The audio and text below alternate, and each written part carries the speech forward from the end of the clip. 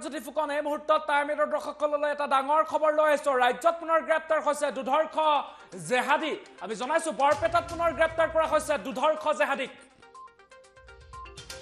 আৰু J M বিৰ শীৰ্ষ নেতা মষ্ট ৱান্টেড চামাৰ আলীৰ চামাদ আলীৰ পুত্ৰ আজহাৰক গ্ৰেপ্তাৰ কৰা হৈছে। আৰু বৰপেটাৰ এক গোপন স্থানৰ পৰা গ্ৰেপ্তাৰ কৰা হৈছে জেহাদীক।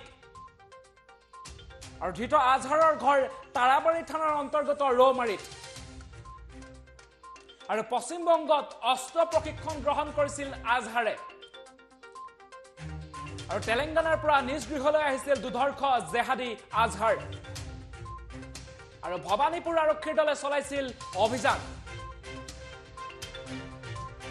আৰু বৰপেটাত পুনৰ গ্ৰেপ্তাৰ কৰা হৈছে দুধৰ্ষ জেহাদী সদস্যক। আমি জনাইছো টাইমেটৰ দৰ্শকসকলক।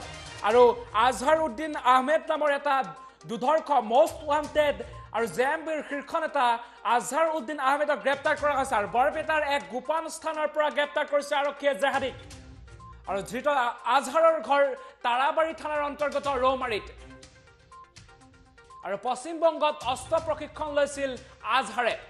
আৰু এতিয়া বৰপেটাত ইজনৰ পিছত সিজনকৈ জেহাদী আৰক্ষীৰ জালত পৰিছে আৰু তেলেংগানাৰ পৰা নিজ গৃহলৈ আহিছিল দুধৰ্ষ জেহাদী আজহাৰ। আৰু ভৱানীপুৰ আৰক্ষীৰ দলে চলাইছিল অভিযান। আৰু বৰপেটাত জনাইছো আমি টাইমেটৰ দৰ্শকসকলক এটা ইটোৰ পিছত সিটোকৈ জেহাদী সদস্যক গ্ৰেপ্তাৰ কৰা হৈছে বৰপেটাত।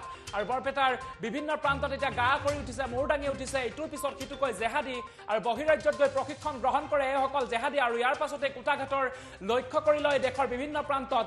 আৰু চাহানুৰ আলমৰ পাছত এইবাৰ পুনৰ জেহাদী বৰপেটাৰ এজন জেহাদী গ্ৰেপ্তাৰ কৰিবলৈ সক্ষম হৈছে আৰু গ্ৰেপ্তাৰ কৰিছে মষ্ট ৱান্টেড জেহাদী আজহাৰ উদ্দিন আহমেদক। আৰু পশ্চিমবংগত অস্ত্ৰ প্ৰশিক্ষণ লৈছিল মষ্ট ৱান্টেড জেহাদী আজহাৰ উদ্দিন আহমেদে আমি দেখুৱাইছো এজন আজহাৰ উদ্দিন আহমেদ আৰু ভৱানীপুৰ আৰক্ষীৰ জালত পৰিছে এজন মষ্ট ৱান্টেড জেহাদী আৰু জে এম বিৰ শীৰ্ষ নেতা আজহাৰ উদ্দিন আহমেদ। দেখুৱাইছো আমি আৰু তেলেংগানাত অস্ত্ৰ প্ৰশিক্ষণ লৈ বৰপেটালৈ উভতিছিল এইটো দুধৰ্ষ জেহাদী আজহাৰ উদ্দিন আহমেদ। আৰু বৰপেটাৰ গোপন স্থানৰ পৰা গ্ৰেপ্তাৰ কৰা হৈছে আজহাৰক।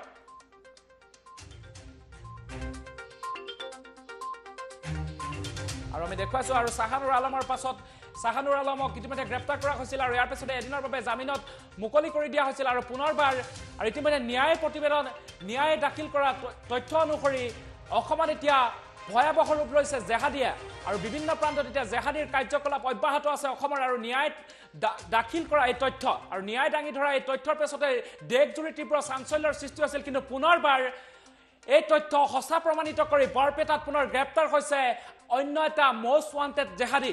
আৰু আজহাৰুদ্দিন আহমেদ নামৰ এটা দুধৰ্ষ মষ্ট ৱান্টেড জেহাদী গ্ৰেপ্তাৰ কৰিছে আৰক্ষীয়ে। আৰু পশ্চিমবংগত অস্ত্ৰ প্ৰশিক্ষণ লৈছিল বৰপেটাৰ দুধৰ্ষ জেহাদী আজহাৰ উদ্দিন আহমেদে। আৰু ভৱানীপুৰ আৰক্ষীৰ দলে চলাইছিল অভিযান আৰু এটা দুৰ্গম অঞ্চলৰ পৰা গ্ৰেপ্তাৰ কৰা হৈছে এই দুধৰ্ষ জেহাদীটোক। আৰু পুনৰ গ্ৰেপ্তাৰ হৈছে দুধৰ্ষ জেহাদী আমি জনাইছো। আৰু ৰাজ্যৰ বিভিন্ন প্ৰান্তত এতিয়া জেহাদীৰ কাৰ্যকলাপ অব্যাহত আছে আৰু ইতিমধ্যে ন্যায় দাখিল কৰিছিলে এটা ভয়াৱহ তথ্য। এই ভয়াৱহ তথ্যৰ পাছতে দেশজুৰি চাঞ্চল্যৰ চাঞ্চল্যৰ সৃষ্টি হৈছিলে আৰু বৰপেটাৰ এক গোপন স্থানৰ পৰা পুনৰবাৰ দুধৰ্ষ জেহাদী মষ্ট ৱান্টেড জেহাদী আজহাৰ উদ্দিন আহমেদ নামৰ এই জেহাদীটোক গ্ৰেপ্তাৰ কৰিবলৈ সক্ষম হৈছে আৰক্ষীয়ে। আৰু পশ্চিমবংগত অস্ত্ৰ প্ৰশিক্ষণ লৈছিল ধৃত আজহাৰ উদ্দিন আহমেদে।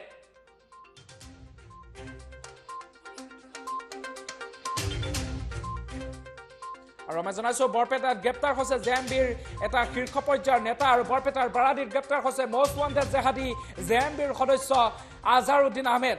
আৰু কেদাৰজনৰ পৰা জব্দ কৰা হৈছে পাছপোৰ্ট আৰু বহু আপত্তিজনক নথি পত্ৰ আৰু জে এম বিৰ শ্লিপাৰ চেলক নেতৃত্ব লৈ আহিছিল বৰপেটা জিলাৰ ৰৌমাৰী পথাৰ গাঁৱৰ যুৱক আজহাৰ উদ্দিনে আৰু বিগত পাঁচ বছৰে বহিৰাজ্যত আত্মগোপন কৰি আছিল আজহাৰ উদ্দিন আমি দেখুৱাইছো এইগৰাকীয়ে দুদৰ্শ মষ্ট ৱান্টেড জেহাদী আজহাৰ উদ্দিন আহমেদ।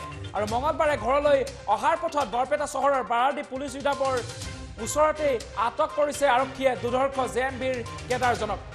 আৰু আদালতত হাজিৰ কৰা ইতিমধ্যে আদালতত হাজিৰ কৰাইছে আৰক্ষীয়ে। আৰু পূৰ্বেও কেইবাটা গোচৰত অভিযুক্ত আছিল ধৃত জেহাদী মষ্ট ৱান্টেড জেহাদী আজহাৰ উদ্দিন আহমেদ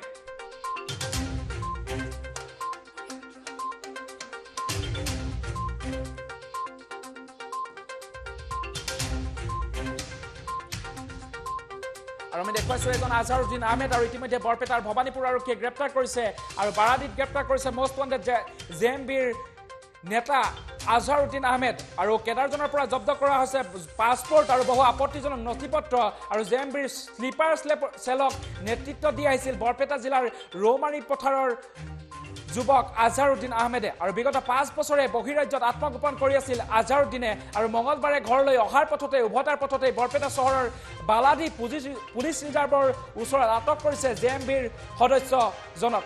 আৰু আদালতত হাজিৰ কৰাৰ পিছতেই ইতিমধ্যে জানিব পৰা গৈছে কেইবাটাও গোচৰত ইতিমধ্যে অভিযুক্ত আছিল এইজন আজহাৰুদ্দিন আহমেদ। আৰু আৰক্ষীয়ে বৰপেটা আৰক্ষীয়ে আজহাৰুদ্দিন আহমেদক মাৰাথন জেৰা অব্যাহত ৰাখিছে।